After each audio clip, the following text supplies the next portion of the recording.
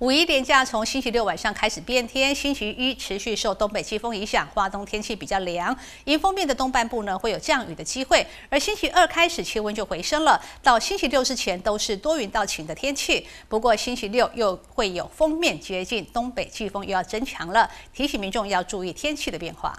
五一连假最后一天，水汽减少，气温略微回升。受封面影响，上周六晚间起开始变天，周一持续受到东北季风影响。不过水汽逐渐减少，气温偏凉。周二起气温才会明显回升，各地多为多云到晴天气，东半部伴随几率降雨。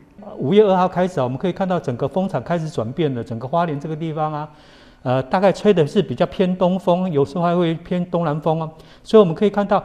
整个在二号到五号、六号的时候啊，整个风向吹的是比较。偏东风、东南风，最后甚至会到一个南风的一个情形呢。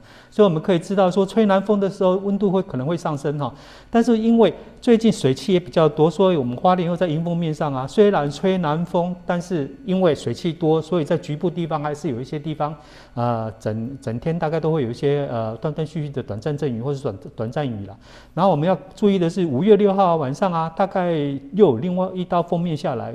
然后我到五月七号的时候，这波封面呃就会东。东北风又会下来影响到我们，所以这一周啊，整个在花莲这个地方啊，天气其实不是很好。我们可以知道，整个水汽还是蛮多的，所以我们这一周的天气大概就是呃阴啊，局部地方有点雨的一个情形哈。到了周六六日，封面接近东半部有短暂阵雨。周六晚起到周日，封面通过，东北季风增强，华东将有明显雨势，气温偏凉。提前有安排周末出游民众，记得携带雨具。